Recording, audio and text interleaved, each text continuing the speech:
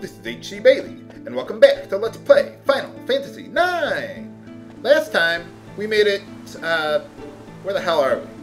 We made it to Pinnacle Rocks, and we found Ramuh here, and apparently he wants us to find these five ghastly manifestations of himself, and tell us a story, I guess. Kind of a weird puzzle, but, well, there you are. Better than a sharp stick in the eye. Hey, it's Monty! Uh, which one was that? Didn't we see him earlier? Sometimes the Moogles will move around from one area to another, and, uh, yeah, he was the Moogle back at the, uh, the Evil Forest there. Well, there we are. Okay. Deliver a letter to him while we're here. Any other letters? No, no, that's it. Okay. Uh, let's see. Also, one thing I wanted to mention, I've rearranged my equipment as I have listed in the video description there. Uh, Zidane has Stone Killer, which deals more damage to stone-type enemies. Uh, and uh, let's see, I got Vivi, I want him to finish off the Reflect Ring. And Dagger, I want to start working on Auto Haste and finish that off pretty quickly there. Um, I'll go over uh, learning abilities in just a moment. Got a Mythril Vest. Well, I already have one of those. Let's see. Ah, there's another one of those guys. Now, now that we have the running shoes, uh, one thing I want to elaborate on is uh, learning new abilities, particularly abilities that you can only learn on accessories. If you want to learn every ability for every character in the game with some minimal grinding, which I've already done all the grinding that I'm going to do for the rest of the game, but you have to put abilities that can only be learned through accessories on top priority. Let's see, for this guy, killing him is top priority. Cast Bio on him. Oh, you know what? I should use a tense, like on Vivi there. Holy cow.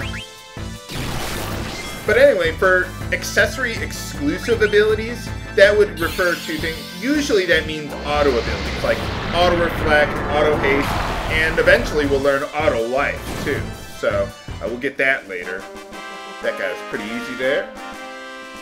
But yeah, the reason you want to be concerned or pay attention to uh, accessory equipment is for learning abilities is because accessories have a tendency to be unique, unlike other equipment types.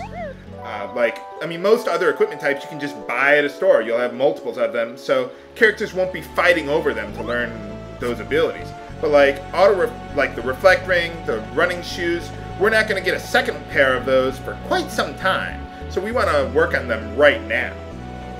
Or yeah, learn, work on them right now as a top priority there because eventually, like in one of my test runs, I worked on some abilities. I worked on all the other abilities because they were easier to learn, they were faster, and in general, they were more useful overall.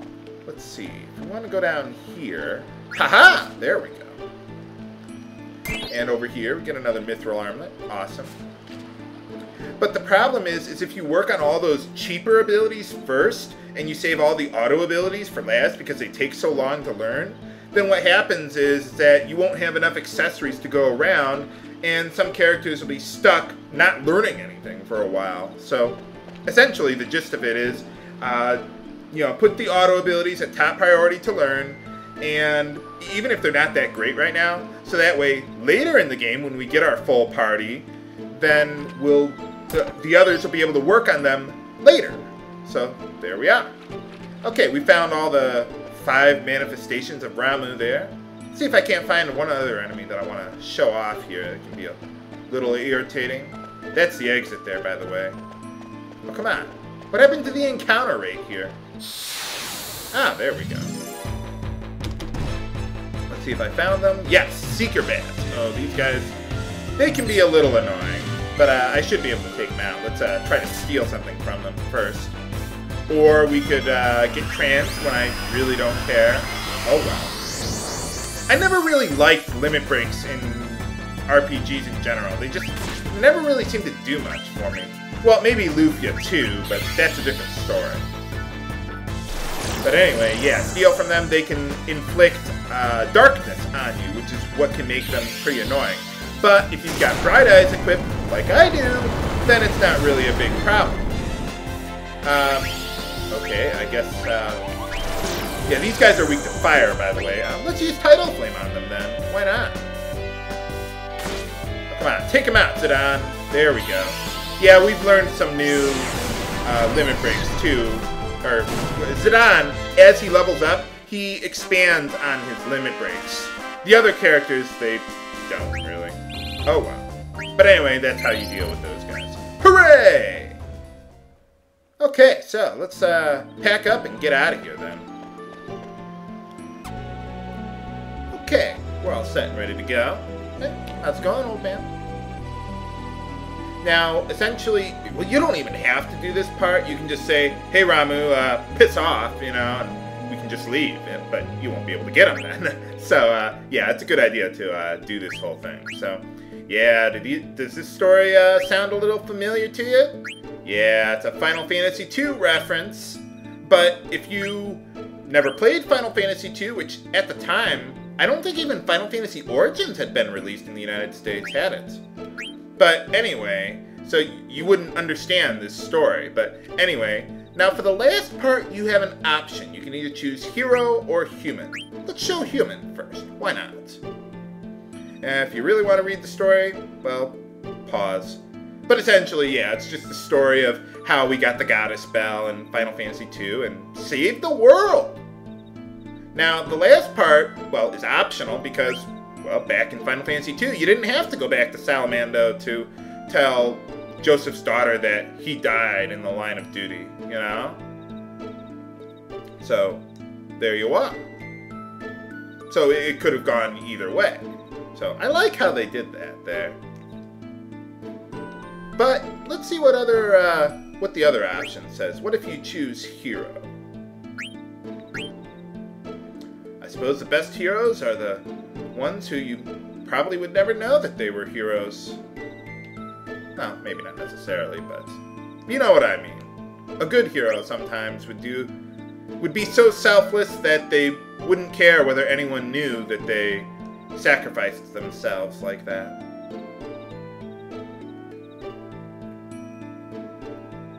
Oh, well there you go. Hmm? What do you mean? Yeah, the rest of the dialogue proceeds the same as long as you put them in the correct order there. You're fine. It's pretty easy to figure out, even if you hadn't played Final Fantasy II. Hey, hey! Alright! We got our, a new Eidolon. Or, well, our first Eidolon that we can actually use. Ramuh. And in order to learn Ramuh, we have the Parrot... Peridot? Peridot? Something like that? I don't know. But essentially, it's a jewel that you can equip as an accessory and you learn the summon just, or the Eidolon, well, summon, whatever. You learn it the same way you would learn any other ability or spell or something like that. Summons are actually pretty good in this game. Uh, not as good as in Final Fantasy IV, but still pretty useful. So I, I actually really like them. It took me a little while to figure out how to use them properly, but yeah, I mean they're the same. They work the same as in Final Fantasy IV. You summon them and they deal mass damage, you know. So too bad we can't fight that large groups of enemies like in Final Fantasy IV, which is what made them more useful. But oh, yeah, I suppose so. Oh. Well, yeah, after fleeing Alexandria and leaving everyone behind, you know, gotta take what you can get. But I suppose, you know, with everyone there trying to kill her, you know, it's a pretty good reason. Yeah, yeah, absolutely, old dude.